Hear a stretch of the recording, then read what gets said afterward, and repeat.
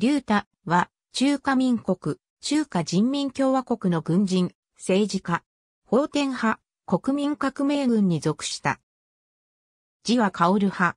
1921年秋、補定陸軍軍艦学校第9期砲兵科に入学する。1923年に卒業すると、張作林率いる東山小陸軍に加入し、以後順調に昇進した。1933年3月、国民革命軍第105師市長となる。1935年4月、陸軍少将の位を授与された。翌年12月に、超学寮が西安事変を起こすと、竜太は臨島で部隊を指揮している。1937年、竜太は第49軍軍長、陸軍中将に昇進した。日中戦争勃発後、ツーラジや上海方面で日本軍と交戦した。1941年10月、第10集団軍副総司令に昇進し、第3戦区に属した。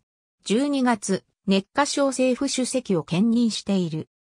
1943年4月、第25集団軍副総司令となった。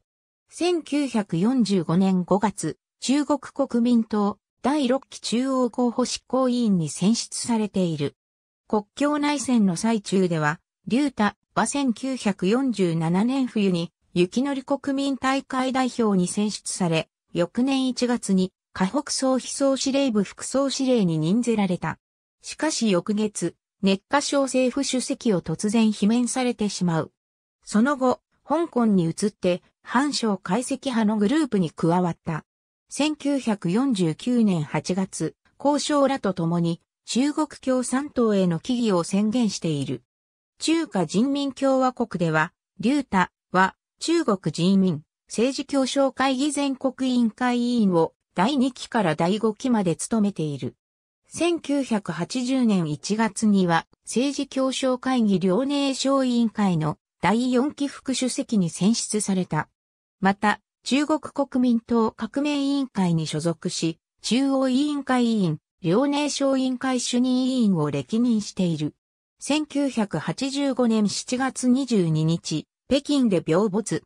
去年89。ありがとうございます。